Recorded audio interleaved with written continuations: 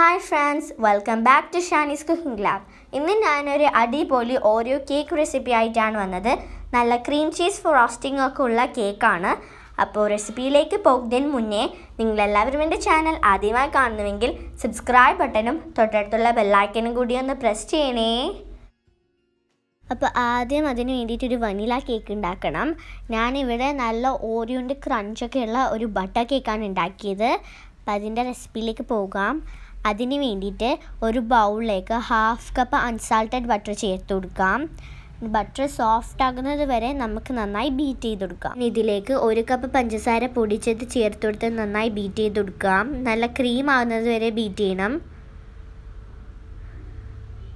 അപ്പം നമ്മുടെ ബട്ടറും പഞ്ചസാരയും നന്നായി ബീറ്റായി വന്നിട്ടുണ്ട്. ഇനി ഇതിലേക്ക് രണ്ട് മുട്ടയാണ് ആവശ്യം. അത് ഒരു മുട്ട ചേർത്ത് നന്നായി ബീറ്റ് ചെയ്ത ശേഷം അടുത്ത മുട്ട ചേർത്ത് ബീറ്റ് ചെയ്യണം. രണ്ട് മുട്ട ഒരുമിച്ച് ചേർക്കരുത്. ഓരോന്നായി ചേർക്കണം. അപ്പം ഞാൻ ഇവിടെ അടുത്ത മുട്ടയും കൂടി ചേർത്തിട്ടുണ്ട്. നമുക്ക് നന്നായി ബീറ്റ് ചെയ്യാം. അപ്പം നമ്മുടെ എഗ്ഗും ബട്ടറും നന്നായി ക്രീമായി വന്നിട്ടുണ്ട്. ഇനി ഇതിലേക്ക് ഡ്രൈ ഇൻഗ്രീഡിയൻസ് ചേർത്ത് കൊടുക്കണം. അതിന് വേണ്ടിയിട്ട് ഒന്നര കപ്പ് മൈദയിലേക്ക് രണ്ട് ടീസ്പൂൺ ബേക്കിംഗ് പൗഡറും ഒരു പിഞ്ച് ഉപ്പും ചേർത്ത് നേരത്തെ തന്നെ സ്ട്രെയിൻ ചെയ്ത് വെച്ചതാണിത്. ഇതിലേക്ക് അരക്കപ്പ് പാലാണ് ആവശ്യമുള്ളത്. മൈദയും പാലും കുറേശ്ശും കുറേശ്ശായി ചേർത്ത് നല്ല സ്ലോ സ്പീഡിൽ നമുക്ക് മിക്സ് ചെയ്തെടുക്കാം.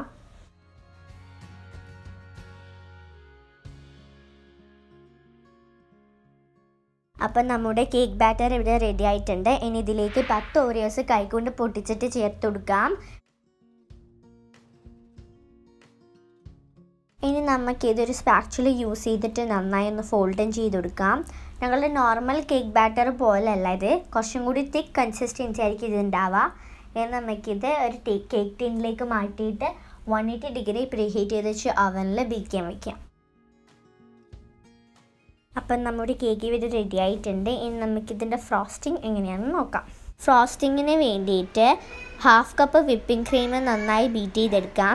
ഇതിലേക്ക് മധുരത്തിന് അനുസരിച്ചിട്ട് പഞ്ചസാര പൊടിച്ചത് ചേർത്ത് നന്നായി ബീറ്റ് ചെയ്തെടുക്കാം.